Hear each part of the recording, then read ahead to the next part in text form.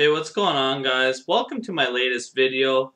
This week's video we're going to get into, in my opinion, one of the most underappreciated boxing legends, which is Bernard Hopkins. And so if you're not familiar with Bernard Hopkins, comes from a rough area in Philadelphia. And basically by the age of 13, he was actually stabbed three times and one almost pierced through his heart, one of the stab wounds. And later on in life, he had nine felonies he had racked up, and at age 17, he got sentenced to 18 years in jail and ended up only doing five. But that's where his amazing story begins. So when he was leaving jail after the five years of serving, the warden basically told him, We'll be seeing you real soon back here again. And Bernard Hopkins told him, You'll never see me again in this jail. And basically at 23, he had his turn pro and he ended up fighting Roy Jones. And at that time, Roy Jones, just a, a le another legend in the sport, really. And he beat Bernard Hopkins. Bernard Hopkins gave him a good fight, though.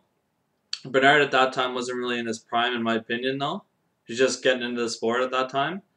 So, yeah, Roy Jones defeats him, and Bernard Hopkins says to himself, either I'm going to be a contender, I'm going to be one of the best in the sport. And Bernard Hopkins made the decision he was going to put in the time and work and become a legend in the sport.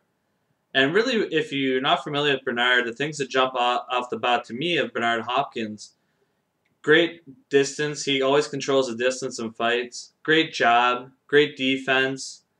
Yeah, kind of a dirty fighter in a way. He he knows what to get away with. This guy doesn't miss a trick. He's savvy veteran. Um, one of the most technical fighters in the game I've seen in my in my time of watching boxing, anyways and just outstanding overall. You name it, this guy's good at a good conditioning. He can do everything. Uh, just a great overall fighter.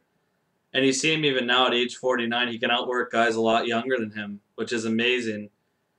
Um, yeah, some records that Bernard Hopkins has is he's defended the middleweight championship 20 times, which is a record. He also did something the great Sugar Ray Robinson, who in my opinion is the best boxer of all time, couldn't do, and that was move up from middleweight two weight divisions and win the light heavyweight championship. So the great Sugar Ray Robinson can accomplish that goal.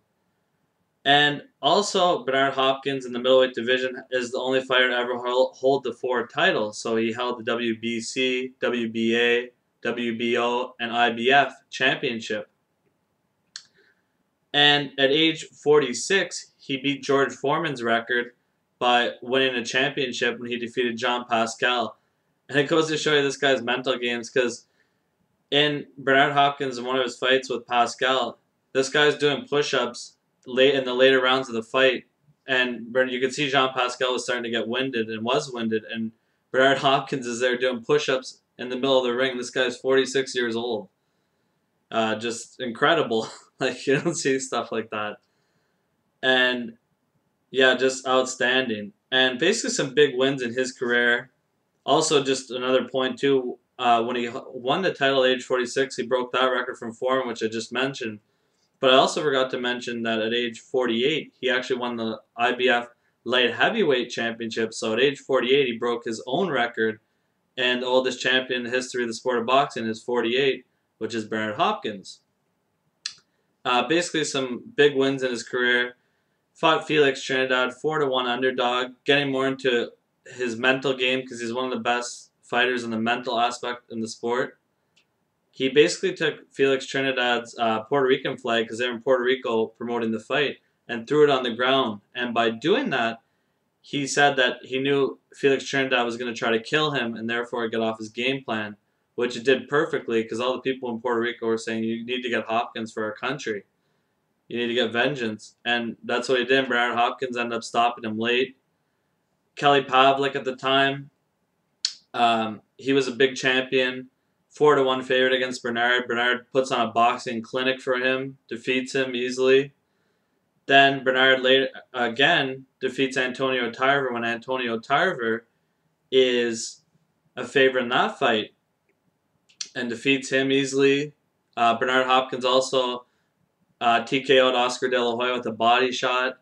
He defeated Roy Jones later on in his career, and Roy was past his prime. He defeated William Joppy, Winky Wright, first man to knock out uh, Glenn Johnson. Just outstanding victories. These are world class fighters that he's defeated. Jean Pascal, another guy defeated. I mean, just amazing. Some of the names on this guy's resume. And basically, another mental thing about Bernard Hopkins, a great story Andre Ward tells on Fight Hub TV, is basically Bernard Hopkins, he'll go to tap a guy on the shoulder and he'll end up patting him in the stomach. And most people would be like, oh, that's just, you know, if you're looking at it, you just think he's saying hello. Actually, what he's doing is he's when he pats on the stomach, he's checking to see if you're in shape. And that's just Bernard Hopkins always thinking and just a clever individual. And Bernard Hopkins in his career had all kinds of issues with promoters.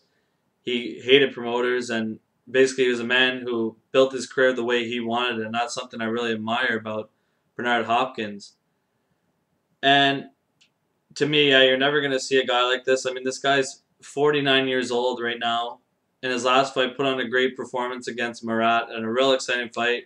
Most fans consider it one of his most exciting fights in a long time. This at age 49, just amazing, amazing, amazing stuff. An absolute legend of the sport. And if you don't know Bernard, check out his fights. Just, wow, can't say enough good things about him. Uh, let me know what you guys think about Bernard Hopkins if you're familiar with him what are some of your favorite fights and what your opinion is on his legacy. Because to me, they say Floyd, like a lot of Floyd fans say he's the best ever. Floyd says that. And to me, Floyd's never going to accomplish some of the things Bernard Hopkins did. I don't think it's going to be close. Some of these records, I think, will stand the test of time. And just salute to a great legend of Bernard Hopkins. And thank you very much, guys, for checking out this video. I really appreciate it. And I hope you enjoyed this uh, amazing story.